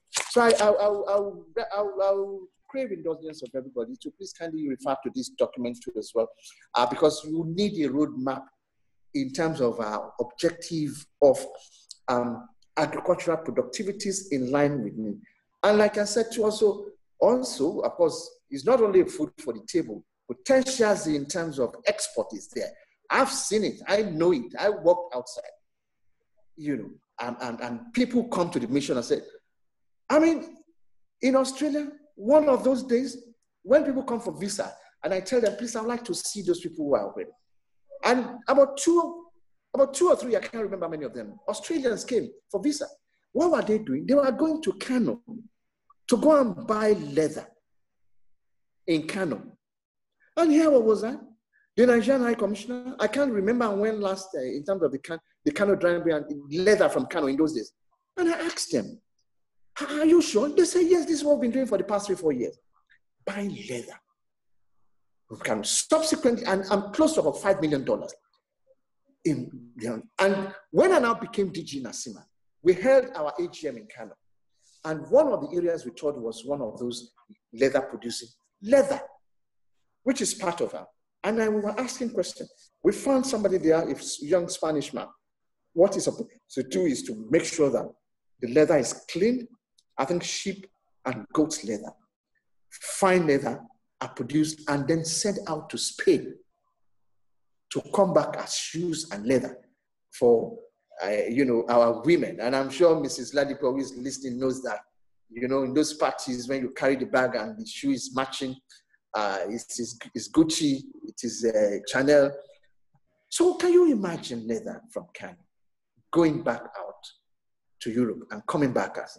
So these are these these are things which I think. And the question was, you know, look, we want to prepare. And look at you can you can connect the Aba garment and textile industry and shoe which they produce with an outfit that produces this. And then we have, of course, the national livestock plan too as well. Maybe perhaps we'll focus sectoral focus on some of these areas next time around. This this these are just some of the things which I think I have to as we as we round up. But thank you very much. Of course, we can talk from now to tomorrow morning. We may not finish, but let us keep the conversation on uh, in terms of what areas we can. We are also we always here in NACCIMA to work closely with outfit like yours. Thank you very much. Thank you very much, uh, Mr. Ambassador. I quite appreciate your, you know, deep explanation into most of the burning areas, you know, that most of our audience would, would very much love to listen to. And uh, because of time constraint, I would want us to quickly just uh, take some of the questions uh, that we have here. Um, I'll start off by um, us looking at um, a question from somebody that um, actually wants to know more about NACCIMA. Uh, there is Daniel Bello. Um, he's saying, um, how do you become a member of NACCIMA? In what way can NACCIMA help with the huge problems of infrastructure, financing, technology, insurance, etc.? Uh, those, those are the concerns from Daniel Bello. You can just quickly take on that. Well, thank you very much. Um, we're out there. Um, I think the easiest to reach out to us is through our website. NACCIMA is the, Niger the National Nigerian Association of Chambers of Commerce, Industry, Mines and Agriculture. We're the premier national association of chambers of commerce, working in four areas, commerce, industry, mines, and agriculture. And for me, oh, it's key and very important. So you can go onto our website, send us an email in terms of your membership. Um, it is open to companies. I mean, it is, it is not an individual thing. You have to be running a business to be able to be a member of the chambers. There are conditions for that. And pop us an email in terms of that. And in terms of, we work closely uh, with other chambers, you know, across across across across the nation. And we also have bilateral because we are composed of city chambers, state, bilateral chambers. I mean, take for example, Nigerian American Chambers of Commerce, Nigerian South African Chambers of Commerce, uh, they're all members of NACCIMA. Take, for example, the Italian, Nigerian Italian chambers in Italy, they're trying to join the part to establish chambers of commerce in this particular area. Now, LCCI, for example, which is well known, It's, we were established in 1960, and of course, we've been there as an advocacy group. We work closely with government. Um, so please go to our website. Um, we also, of course, on I mean Twitter, Facebook, and all of them. Uh, this is the digital uh, media, uh, social media age, um, and it is an open house. Um, please, you can find time. Although we are not, we are all skeletal work now, no visits now, but we can talk together. Send us an email in terms of, and we're also conducting training. I mean, I'll give you an example. We are working. Uh, uh, we are we recently, and we are starting a, a program on hydroponics Hydroponics, like you know, of course, that is your own area you feel in terms of farming without soil. Is a new area that even if you live in Manhattan on the 38th or 44th floor in Manhattan, you can even practice some form of agriculture. Even if it's some green pepper and tomatoes, you can grow using hydroponics. We have shifted a large number of our training online. And of course, you can, of course, reach out to us as far as this is concerned. We are talking with each other now some of those training, of course, is on. Presently, of course, most are free, but uh, you know, we've got to pay our bills uh, in terms of payment for the uh, internet and others. Uh, we will, we will, we may charge, start, we'll start charging uh, uh, token, token fees. The one we had with Africa House, and it was connected through from ground. Um, you can see what exactly is happening in this area in terms of the immense possibility. Um, so NACCIMA is the place to be please join us, come to us, and be part and parcel of it. It's a, free. Uh, that's to answer that question quickly. Thank you very much, um, Ambassador. Um, my next question I'll take from uh, Mr. Bello Abdullahi, although I think you've answered that question, you know, in the course of our discussion. The question is, um, um, Mr. Ambassador, sir, how do you see um, how Nigerian government can recruit agricultural extension service agents to teach our rural farmers modern farming technology so that they can consider agriculture as a business and not as an heritage. I think um, that yeah. Yeah, but, but, but, let, me, let me give you a practical example of what, you to give him an example, the person who We were right. approached by somebody in Africa House. I think he lives somewhere in the Middle East. And he said, look, listen, ambassador, we can work with you online and do training. So we are starting that now. So whatever you have, this is agricultural extension online now. Online agricultural extension in terms of the ideas. So it is possible to use this medium and we'll simply connect the expert. They will speak to us. Those people who are interested will signify they're interested in this area. We're talking about the question of export next time around with Africa House in terms of export of Nigerian agricultural product. What do we need to keep in mind as far as that is concerned. And there are new agricultural techniques. So this is, this is one of the way we can use agricultural extension. We can expand agricultural intention. And like I said, it's an online world now, you know, so we can also supplement uh, through this medium and carrying out agricultural extension training uh, through online uh, uh medium. You know, and of course, eventually, when you want to start, there's no virtual tomato. I do think there's, I do think there's virtual yam when you want pounded yam and you want to do pounded yam, you have to pound the yam inside the mortar. And, uh, but that's just on the lighter note. Uh, what I'm saying is that we can take advantage of digital technology uh, to be able to do some training. Thank you. Thank you very much, sir. Um, my next question is from an anonymous uh, attendee.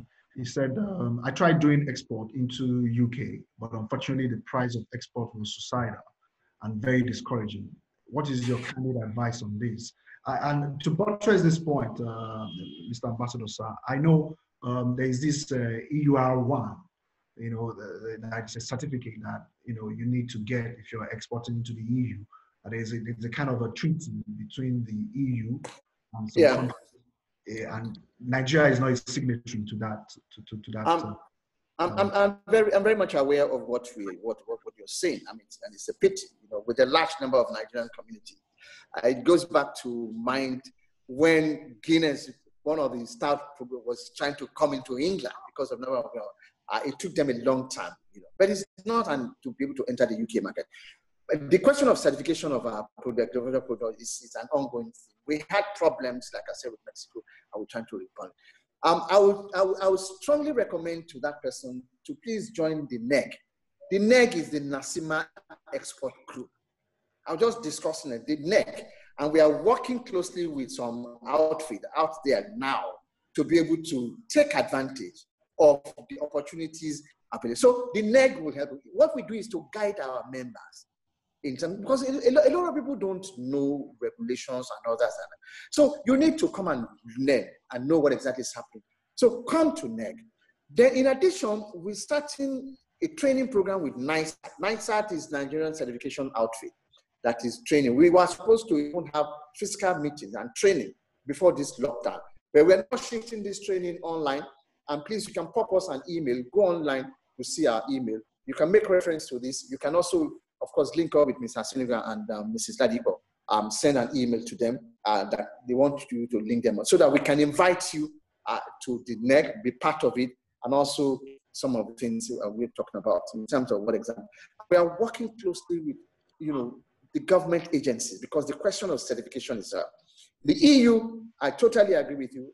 We are engaging with them. The EU uh, uh, delegate had visited NACCIMA in the past, and he came here physically before the COVID 19. That was sometimes last year. That we want to work with you to facilitate and provide opportunity for your members to access all of this. And so we are engaged with the EU in discussion with them to ensure that. And of course, you know, government has to. Uh, and of course, the whole question of gap is also involved in all of this. But we are engaged with them so that they can open the gap. Nigeria, Nigeria is the place. I mean, as a, as a former diplomat, I can tell you, either you like it or not, as a Nigerian or as Nigeria, they will call on you. You have to rise to the occasion. There's, there's no, there's no, you know, I, I was in Australia once. I was at a reception. A medical doctor who runs this chain of clinic said that, yes, I understand you're the Nigerian High Commission. I say, yes. He said, I run a chain of clinic and hospitals in Australia. Please, I need more Nigerian doctors. I look at him. He said, I have 12. I said, what do you want to do with Nigerian doctors? Again, he said, because they are the mainstay of my hospitals across Australia. And he ended up by saying, and the Nigerian doctors have the best bedside manner. Let me repeat that. They said the Nigerian doctors have the best bedside manner. When I was discussing with Nigerian doctors in Canberra and others, he said, ah, Oga Ambassador, he said the man does not know that uh, where we are coming from, we use hurricane lantern to look for veins. So when we reach here and we see machine that can look for veins for us, ah, it is easy. What I'm saying is that this is this is us, this is our country, this is the potential, and we should. Western Australia, 2.5 million people, two, one person by one square kilometer. One person in Western Australia. One person. There are over 100 doctors in Perth alone. When I served in Nairobi, I was also, you know, uh, covering Seychelles. Three hours, five minutes. The chief agronomist for the agricultural sector was a Nigerian TAC volunteers. He's not a professor. He's just a TAC, you know, technical aid cost scheme volunteers. That is the potential. of our, And the greatest resources you can have is human resources, in addition to what God has given us. Thank you. Thank you very much, um, Mr. Ambassador. Uh, I'll take um, this next question from Rotimi Osho. He said, um, Your Excellency, what is NACCIMA doing to develop and strengthen chambers of commerce and industry in various states in Nigeria? Well, thank you very much. That's a direct question. If it is, maybe one wrote to whom I know, you know. Um, recently, we held what is called the first virtual meeting of DGs and executive directors.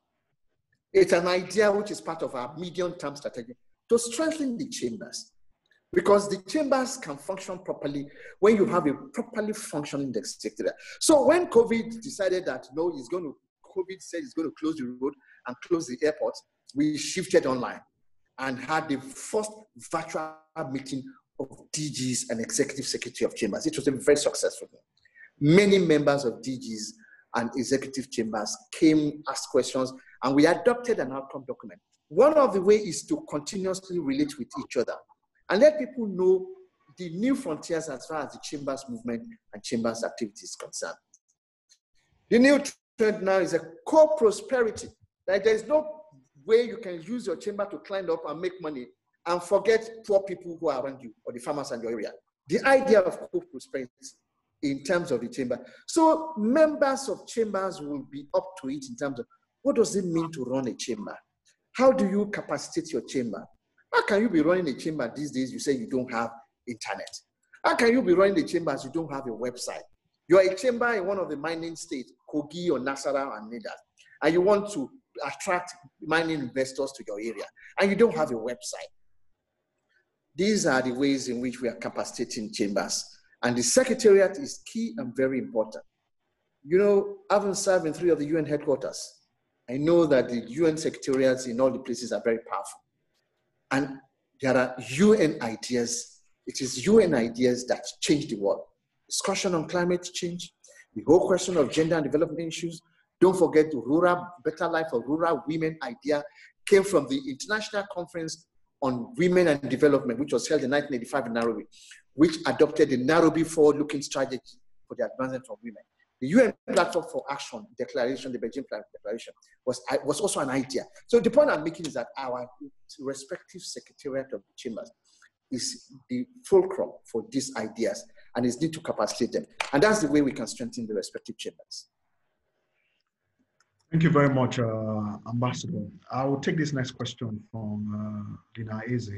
Um, she, uh, she, says, uh, most times there's always well-written plan, but the problem remains putting plans to work. Execution of plans never gets to see the light of the day, e.g. the economic sustainability plan. How do we ensure we follow through to completion on most of these plans? Well, thank you very much. I think the first thing to do is to know that there is something like economic sustainability plan. It is not to just read it in the newspaper because the newspaper will just give you two or three paragraphs. And then you don't know the, you see, like I said, the devil is always in the detail, nitty gritty. So people, in terms, in context of implementation, people need to, who are interested, on the, who are in the agricultural sector or whatever it is, is an, please go and get a copy of the economic sustainability plan. It is what you know. When you know it, it is then you'll now be able to take on those people. There are supposed to be, in terms of a sustainability plan, ministries are supposed to set up uh, implementing agencies. We are going to be engaged, of course, with the Minister of Industry, Mines and Agriculture, and this Minister of Investment and Trade and Investment recently. The, that plan is one of our reference points that we want to be part of the eight. We know 623 billion had been, of course, allocated to it in terms of in terms of implementation. So we must familiarize ourselves with it and then also be able to, within the framework of maybe a, our Greek cooperatives, maybe through our chambers, if you are members of the chambers, um, to make Because under the plan, implementation plan is key. And three issues are key implementation, implementation, implementation. Because no matter how brilliant the ideas, you write it down, you don't implement, it just gathers dust.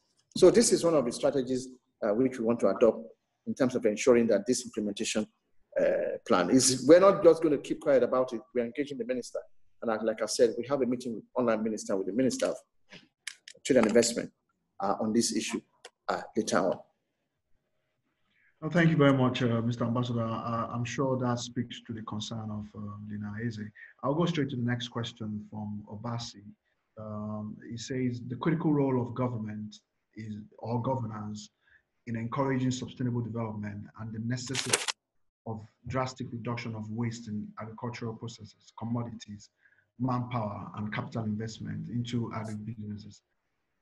I think that, that, that's the question. He said the critical roles, what is the critical, what are the critical roles of government, of governance in encouraging sustainable development in agri? Well, the, the, the, governance issue span the entire you know, development space. And of course, his key is very important. Um, if you don't have, even as a chambers, if you don't have good structure as far as governance is concerned, you will just see president of chambers come and go. And then maybe, and you know, there's a way in which uh, chambers is attractive.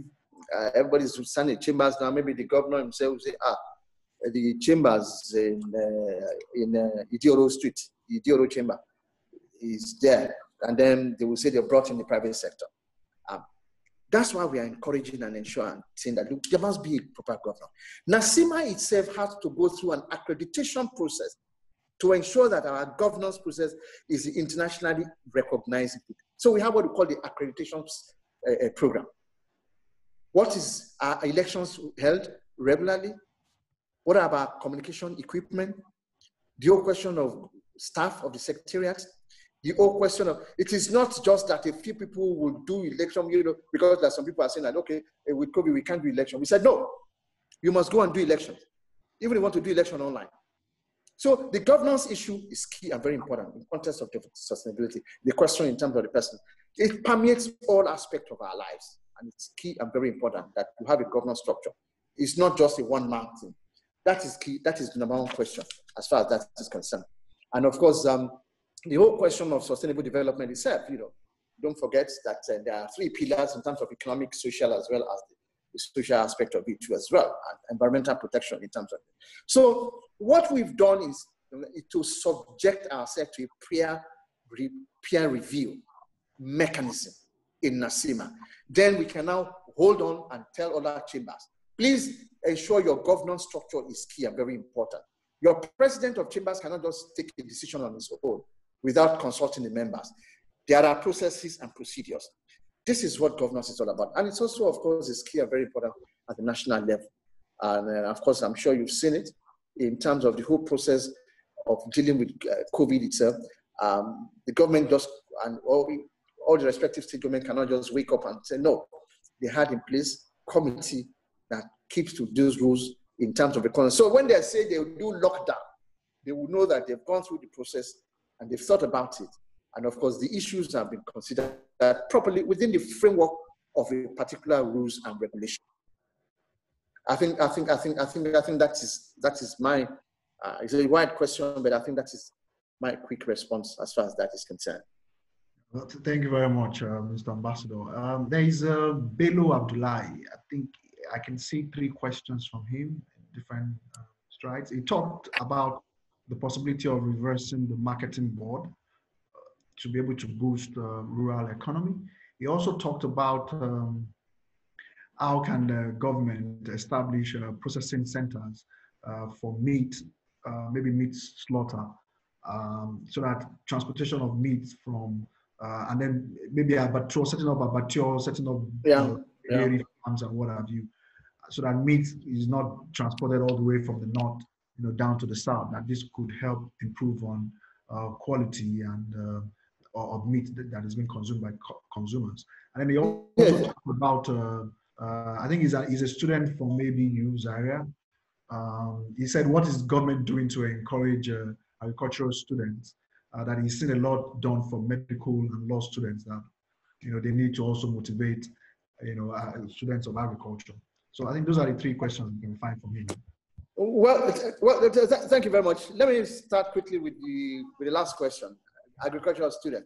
I had I don't know whether it was here when I was speaking about the Agripreneur initiative, um, and I think it is possible because one of the things is that they're taking this onto the campuses too as well, in terms of encouraging students who are in this area.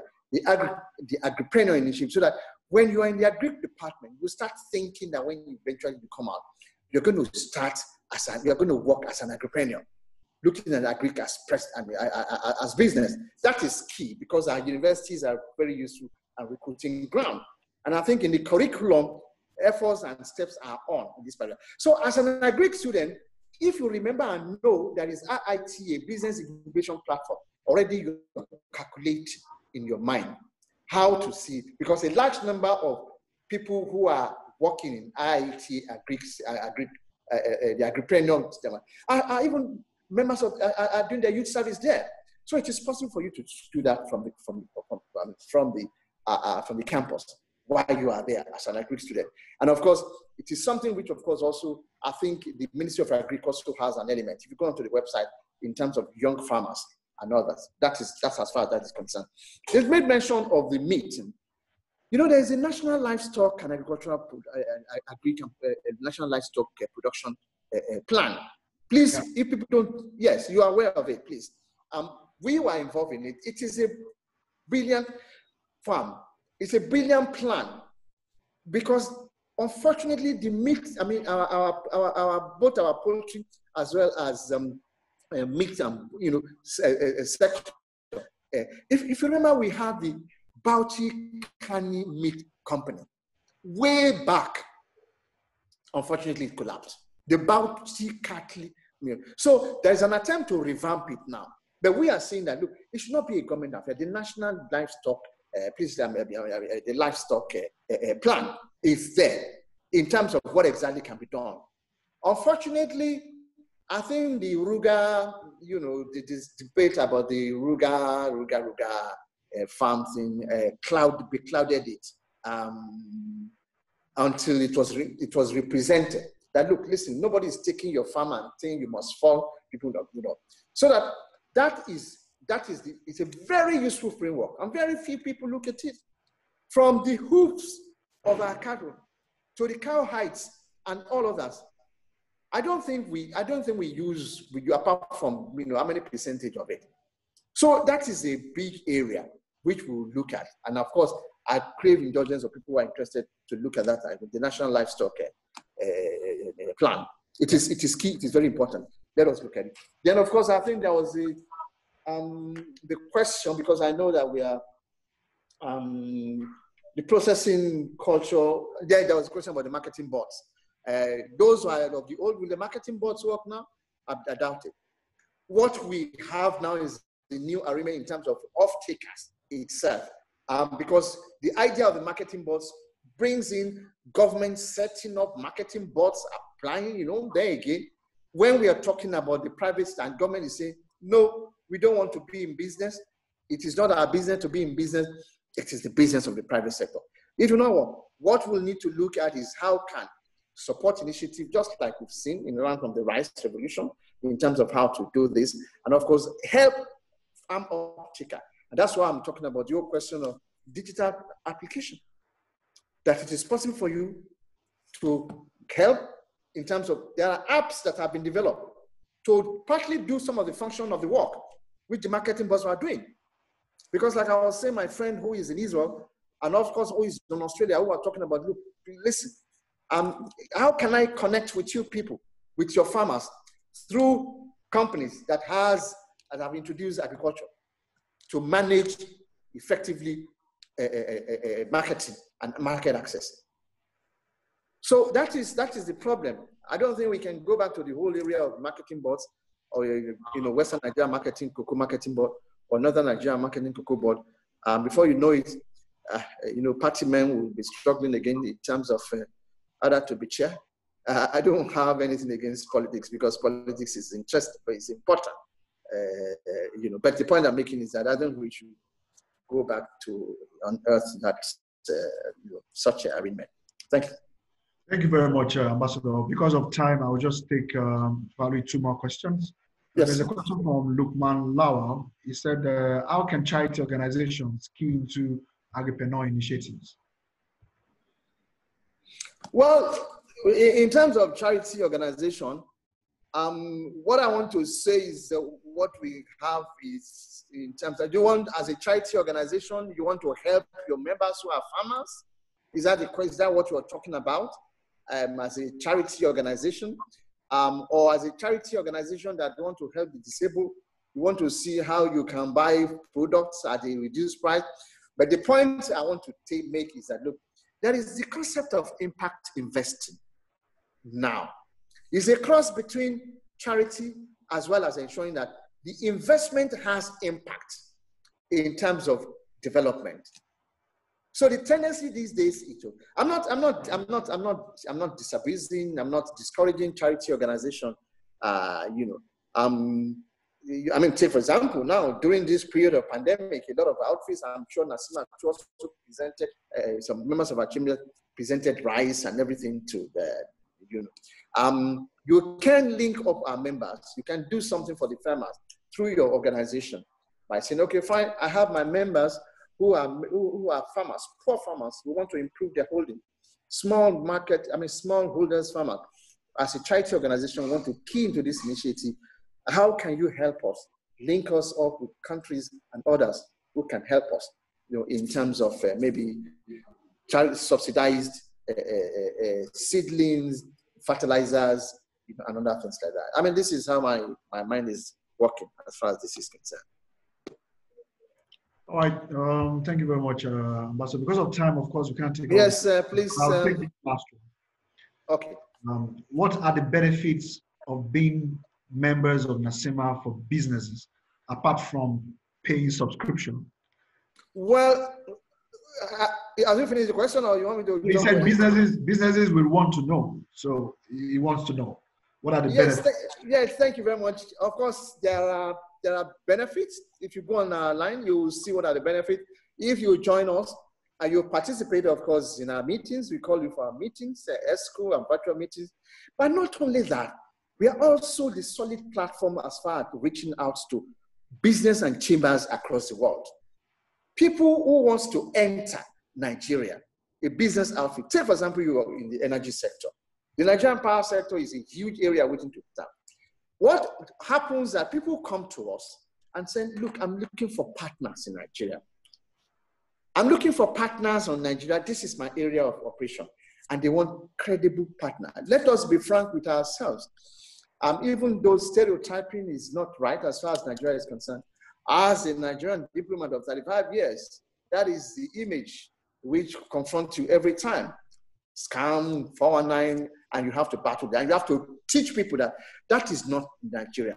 That is not. But the point is that when you join us, we can link you up effectively. I was just saying now that um, the mission in Italy and others are saying, look, these are some of the things we want from Nigerian businesses. Our mission, I'll give you an example in Burundi. The Burundi, because I haven't been in some of foreign services, I have extensive network and link with very many of my colleagues who are still in the foreign service, either serving as ambassador. They say, look, you know, um, using, please, you're there. People in Burundi are looking for companies who will come and invest in various sectors. They just, they just want Nigerian companies to come. I was in Sierra Leone the other time, and we were talking about ferry. The ferry that was being produced and are owned by most, mostly Nigerian. The creativity and urban sector. The other time, they were asking for somebody who operates in the creativity sector. Our ambassador in Jakarta said, please, we need somebody to participate in the creative sector. One trillion is the creative sector. And don't forget 239 billion was that. Eventually, this, his name is Hakim Balogun. And I said, look, don't worry, we'll get you somebody. We were able to reach Bolanle Austen-Peters, who is one of the frontliners in the creative sector, and connected her. And the moment they went online and looked at her, they said, we are ready to bring her here. They will pay, they will do this, they will do that. And she went. So these are some of the things. We are a glue. We connect people. We serve as a platform to connect those outside there who don't have knowledge of people in the Nigerian business sector. And, you know, and in terms of, so these are, these are the various benefits. There are so many of them. Uh, when you come into the house, you can be able to see that we serve delicious food. We have pounded yam, we have uh, ogufe, we have, uh, so you can, you know, enjoy the sumptuous meal which we produce, which we serve. Uh, what I'm saying is that uh, NACCIMA as a national platform is a veritable advocacy group, is also a very useful tool to be able to network Nigerian businesses to the outside world. Oh, thank you very much, uh, Mr. Ambassador. It's always a pleasure having you with us. Uh, I can recall um, the wealth of experience you brought to bear during uh, the WAAS event as well. And um, you, you never disappoint. It's always very nice to have you around. So on this note, uh, I think we would want to call it a day. Thank you so Thank much you. for spending the last two hours with us. And I would want to hand over uh, back to Okwe for her to uh, give the vote of thanks. Thank you very much, uh, Ambassador. Thank you very much. Chair. thank you. Thank you, Mr. Shenuga. Thank you, Ambassador Lukoni. It was a very in-depth and um, insightful session. Of course, we have takeaways from today's session. Uh, we are not to, you asked us not to get engrossed with the thoughts of the COVID-19. The African Continental Free Trade um, Area Agreement is available to us for to explore, to, um, to reopen and um, reboost the economy. Um, you equally told us that um, we missed, of course, we had a missed opportunity during the oil boom, where we all caught um, the Dutch disease. we caught the Dutch disease, yes. Dutch disease. Yes.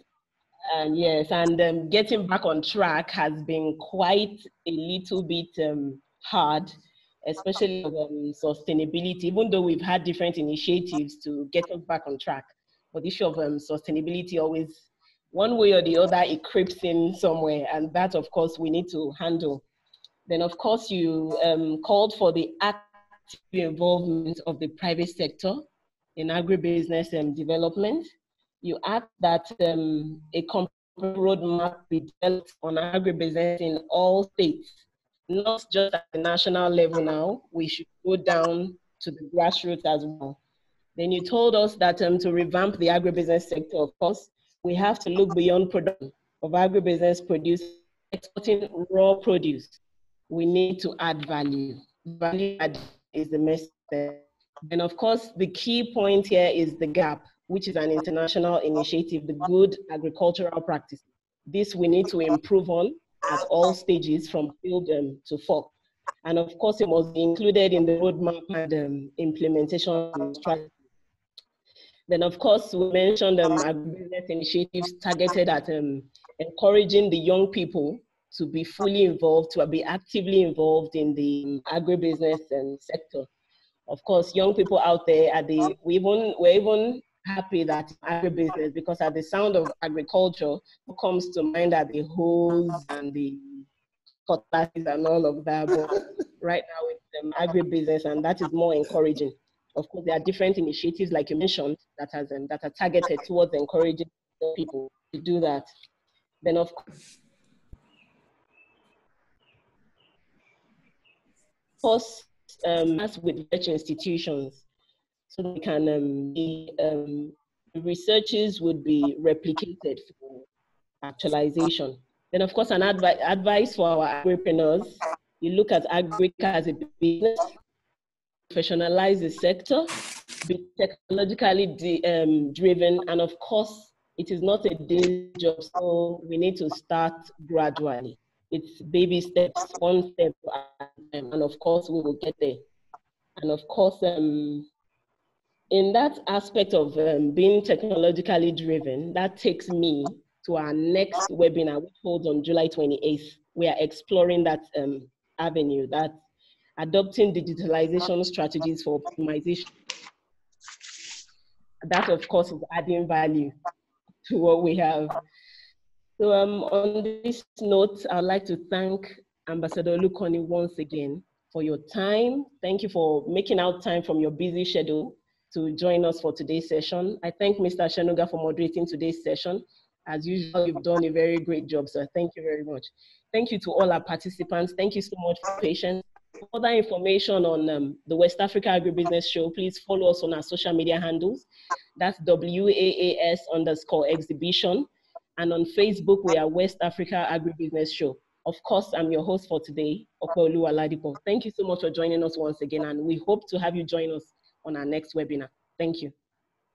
Thank you very much, Okoye. Thank you, Ambassador. Thank you for the time, sir. Uh, thank you very much, Okoye. Thank you very much um, for Thank you, being, uh, you know, for the link and uh, uh, please let's stay in touch. We are there to work with people. Thank you very much, and I thank all our participants who have joined us uh, as we look forward to uh, when eventually these are will be over, and then we will. But for now, please let us all stay safety regulations and the, and, and, and the guidelines. Thank you. Thank you very much, sir. Uh, thank you. Thank you. Thank you all for joining. Thank you.